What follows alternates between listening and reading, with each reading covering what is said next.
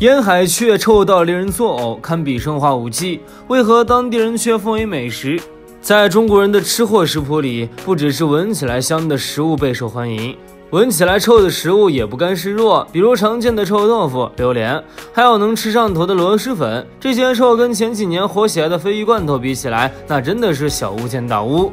鲱鱼罐头只要打开盖子，就会变成一个催吐神器。而山外有山，有一种叫做烟海雀的食物，鲱鱼罐头在它面前都要甘拜下风。它臭到不仅仅令人作呕，还堪比生化武器。不过让很多人都闻风丧胆的食物。在当地人爱斯基摩人眼里，它可是一个不可多得的美食。这是为何？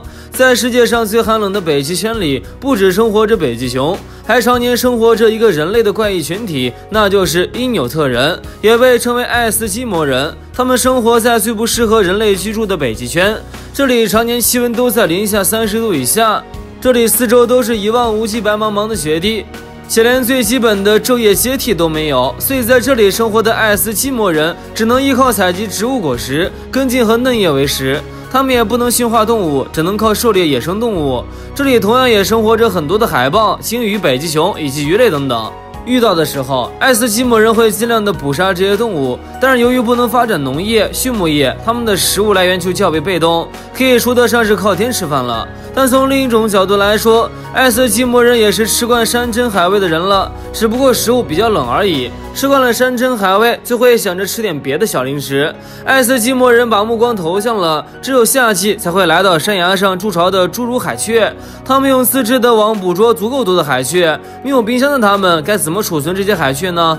那就是用生物储存法，将一只海豹掏空内脏，然后尽可能的在海豹肚子里塞进更多的侏儒海雀。一般一只成年海豹可以塞进五百多只的海雀，塞完之后再用力挤出海豹肚子里的空气。这样海雀才能更好的在里面储存发酵。这个方法有点像我们腌咸菜的，只不过容器不同而已。不过我们腌咸菜之前都会认真的将菜的表面洗干净，但腌海雀就不一样了，它是未经过拔毛处理的，整个塞进海豹的肚子里。为了不让多余的空气跑进海豹肚子里，不仅进行缝合处理。还在缝合口处涂抹大量的油脂，最后放在雪坑中用石头压好保存。你们可以想想，用动物作为容器腌出来的海蟹会是什么样的味道？在夏天腌的海蟹，爱斯基摩人会在冬天给你们揭晓这个味道。当他们切开海豹肚子的时候。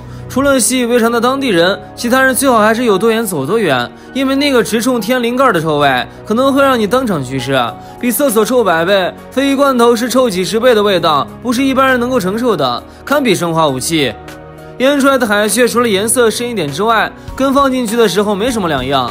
爱斯基摩人对腌海蟹可不是随随便便就拿出来吃的，而是当家里有贵宾或者大喜事的时候才会拿出几只。而吃的方法也让人更加难以理解。在腌海雀之前，海雀是个生的；就算腌了之后，海雀还是生的。他们会直接吸食海雀的肉质和内脏，经过长时间的腌制，这些都变成了糊状，轻轻一吸就可以整个吃掉。吃过腌海雀的人说，虽然闻起来是真的很臭，但是进到嘴巴里，这一股臭味就变成了极其鲜的味道，让人吃了还想再吃。虽然不知道是不是真的，但是我相信第一次尝试沿海去的人肯定要鼓起很大的勇气。你们看完作何感想呢？